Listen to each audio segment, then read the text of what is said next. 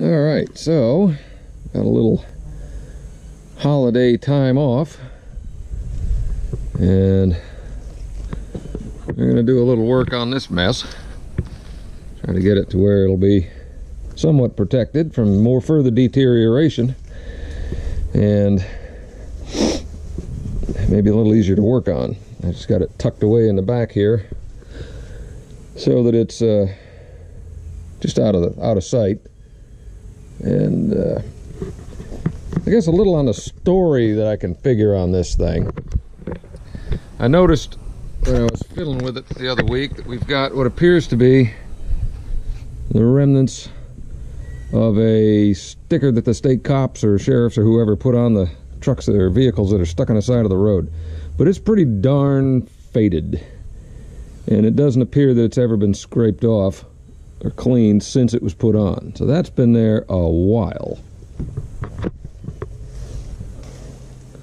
The other thing I mentioned in the video is the last time this was registered or inspected, let's say, the sticker expired 3 of 17. That would have put it, uh, since it's an emission test, they only give you one year stickers in Baton Rouge. So the earliest or the last time this thing would have been inspected would have been in March of 2016 and a few other little tidbits.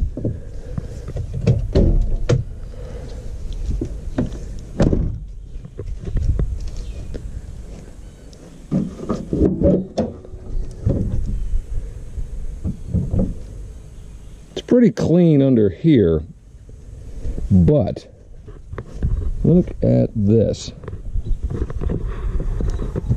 All this stuff here in the uh, weather seal for the back of the hood. And then this absolute crazy grime on it.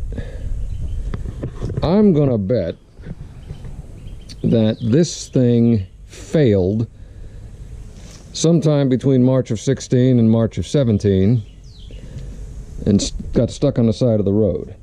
Now, the reason I'm going to think it failed, given that the oil is good, and I found this funnel up under the hood,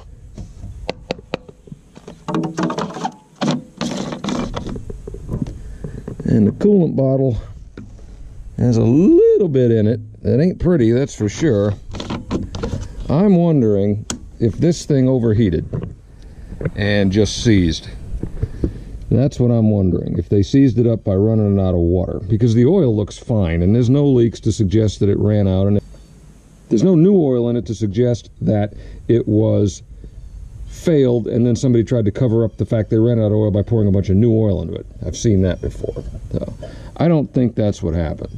I think this thing was in reasonable shape may have had some sort of a coolant leak may have had a head gasket issue somehow and we they ended up blowing the motor or seizing the motor by overheating it and then it got stuck on the side of the highway and here we are. So it got picked up by somebody most likely has been either sitting at the people who owned its house forever although the title's coming from uh, some car yard, which makes me think it could have even been a repo at some point. But uh, that's all I can think. You know, we've got a. There's a few things that I'm probably going to put on my truck. Mine does not have the correct plug down here for this because the pump failed and then the new pump that I got for it, the replacement from AutoZone was incorrect. The, the, well, the pump was correct, but the plug wouldn't work. So it's just got two little spade connectors down there. I may put that terminal back on it. Um, it looks pretty good. It's got a fairly new accessory belt on it. Alternator looks to be a replacement manufactured in Mexico, so that could be pretty good. I don't need one, but uh, know, that's not a bad piece. I think there's there's a lot of good stuff here. But the first thing I'm going to do today is I'm going to pull it out of here, you know, flip the grass over that got flopped over by my uh, uh, trailer ramp, mow this section, then I'm going to put a tarp down on the ground, push it back in here, and on the on the tarp, and then set it on my jack stands on top of the concrete pads on the frame. Yeah, it should work. So I can get the thing off the ground and at least be able to do what I need to do with it. Because one of the first things I think I'm going to do is I've got some time this weekend. I am probably going to pull the entire rear end out of this beast and after some investigation to make sure that it's feasible and uh, swap the brakes the disc brake system onto mine because I am sick of these drum brakes. They feel terrible no matter what I do to adjust them. They work fine, but the, the left rear is super grabby no matter what, especially when it's wet. It, it's adjusted correctly. There's nothing I've, I mean, I'm just sick of the drum brakes on that truck. So I'm going to see if, what I'm hoping is that Ford did not have two different axles. You know, if the axles are the same, the housings, I can just swap over the parts. Uh, if the housings are different, I may not do it because I've got 355 gears. This thing's got 373s. I don't really want to swap the center sections because then you got to do a whole bunch of other setup and everything else. So that's what we're going to do today. All right, well, there it is.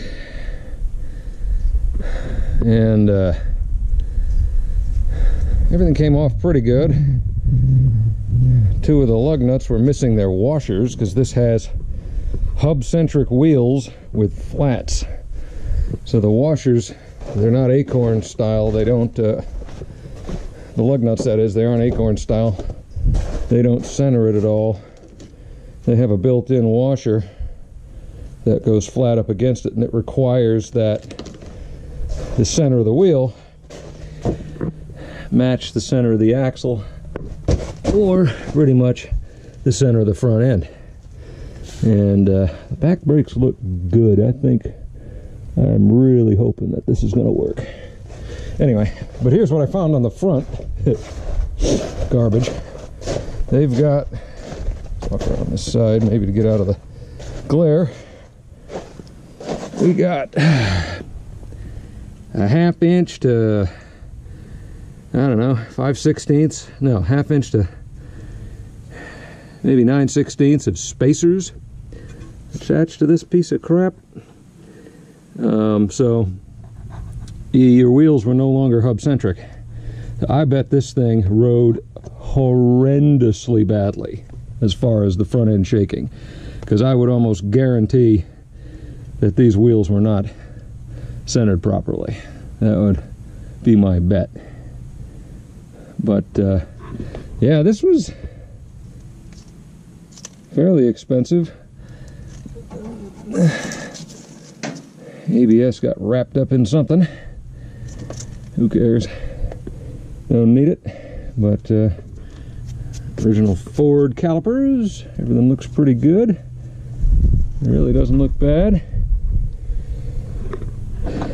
Still will never understand putting a lift kit on an independent front suspension. Spend all this money, to put bigger tires on it and end up with less ground clearance than you started with. I don't get it. But here's something that I found in the back, which I thought was neat. I mean, I got this held up by a couple of bricks because this was disconnected from wherever the hell it was supposed to be connected and the axle hit the ground when I released it. Um, but both of these shocks have hit the axle tube at some point in their disastrously eventful life. Now this one still sort of attached. If you can see that, you got a pretty good dent and a matching scar on the axle. So this kit was not, not terribly good. I don't know. And this is just hokey as hell.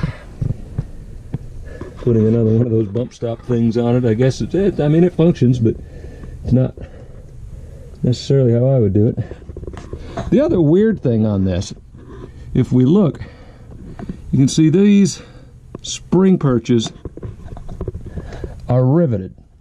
That's factory. Now take a look at the other side. I think.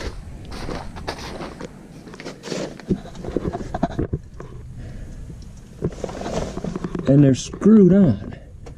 And that one in the back, holy crap, that looks like it's screwed on with 5 16ths Tek screws.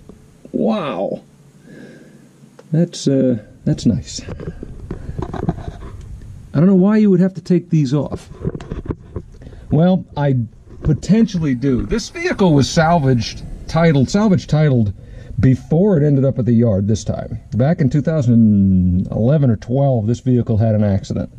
So I will bet at that time something had tweaked this and that's why we have perches on this side that have been ground out and reattached with things that they really shouldn't have been attached with. That's that's something.